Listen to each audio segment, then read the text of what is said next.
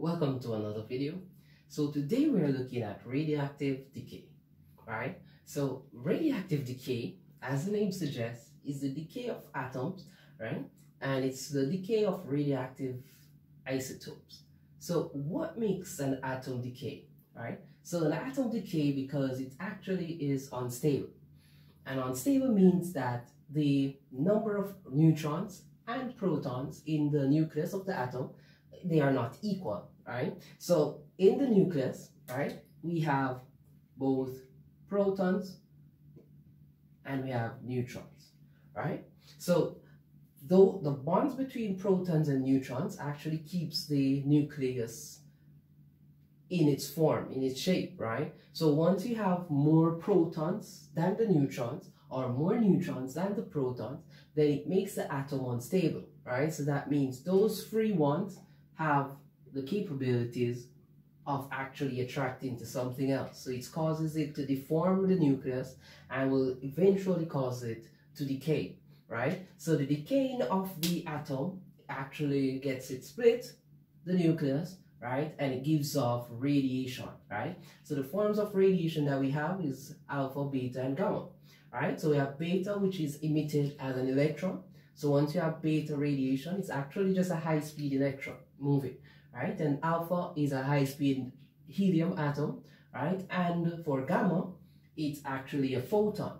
And a photon is a light particles. The particles, the pockets of particles that makes up light, right?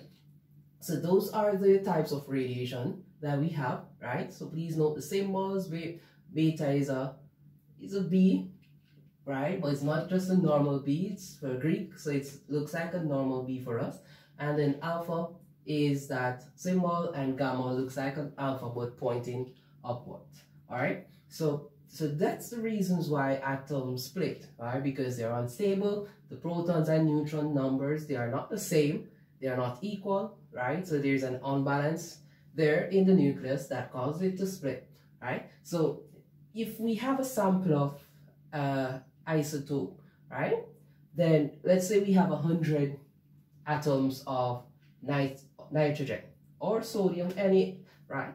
So if we have a hundred, at a point in time, we can tell how much will be decayed, but we're not able to say this atom will decay at this time, right? Because it's a run, random process, it's a probability, right? So just like flipping a coin, it can either go on heads or the tail, right? So because we're not able to predict the time in which a specific atom can decay, then the process is a random process, right? So it's not affected by environmental conditions. So heat or moisture, humidity will not be able to actually alter the rate at which the atoms decay, right? So we know now that at a specific time, the same amount will decay. And therefore, we have this term known as the half-life, which it tells us that that's the time that any amount of the sample will decay to half its amount. So if we had 50 of sodium before, right, after this time is expired, then we're going to have 25, right? If we originally had 6, after the half-life, we're going to have 3 right? And it continues like that. So when it moves from 50 to 25, right? And then the same time pass again, then we're going to get half of the 25, which is 12.5. And it continues and continues like that because each time period that passes your half-life, then half of what was there before will actually be left, all right? Or actually be gone, right? So that is our radioactive decay, right? So because our atoms decay and give off the specific radiation, right? Now, alpha gives off, so atoms that normally gives off alpha radiation or atoms that are larger, big atoms, right? So over 30 in atomic number will actually emit alpha particles or alpha radiation, right? Beta now, it's normally for smaller atoms, so less than 30, will emit beta radiation and, uh, and gamma is normally those very big atoms. So normally over like 80 or 85 in atomic numbers will emit alpha, will emit gamma, sorry, radiation, right? So It doesn't mean though that a particle, an atom that's less than 30 will not emit uh, alpha, right? But this is the normal condition that these atoms will emit. So under 30 is beta,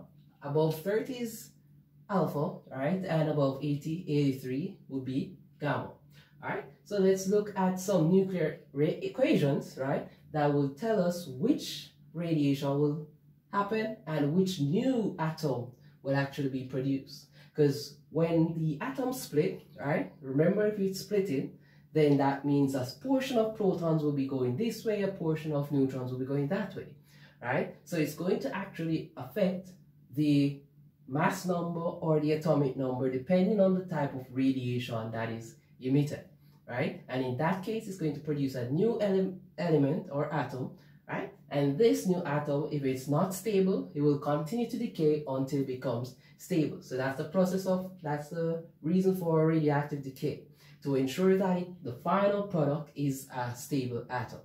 All right, so let's go with this first one here. So in physics, we're not able to, you're not required to know the name or the correct symbols of the elements, right? So on an exam examination, they'll probably give you like this, or they will just ask you to use any random symbols, right? The important part here is what happens to the, the numbers, the atomic number as well as the, the mass number, all right? So in this case, we have radon 86 and 219 is going to emit, right? So because we know this is above 30, right?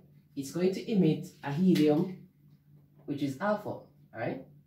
And we know alpha is helium 2, 4, right? So what this is saying is that we need to ensure that our product side mass number and atomic number equals to our reactant side mass number atomic number, right?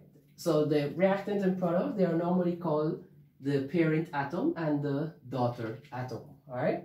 So in this case, we notice that we've taken 2 for helium in the atomic number, so that means we're going to minus 6, 86 minus 2, right, to give us 84. So the atomic number of polonium is 84. And we do the same for the mass number. So it's 219 minus 4, right? And we get 250. Right? And that's our atomic and mass number for polonium. And all these equations normally gives us a, some energy, right? So that's how you would balance a nuclear equation if it was an alpha being emitted because it's over 85. And also because it's over 83 as well, we can give a gamma being produced. Now you notice gamma does not have a change in the atomic or mass number, right? So that's very important because it's just a high speed light. It doesn't affect the atomic number or the mass number, right? So there's no change that will cause for polonium in its atomic or mass number. All right, let's look at carbon. So carbon 6 and atomic mass number is 40. So it's less than 30. So we know that it's going to be a beta. Right. So please, we have to take note of the negative 1 there. Right. So we're not just going to use 1. We're going to use negative 1. So we need negative 1 plus a number to give us 6. Right. So that means the number has to be higher than 6, which is 7. So 7 minus 1 gives us 6, right? There is no change in the mass number, so the mass number remains the same. And element 7 is nitrogen. And we know that, so I did not write that one there, right? So we notice now, let's look at this, because this one is easier to calculate. If we look at the protons here for the daughter atom, it is 7, right? And the neutron is 14 minus 7, which is 7.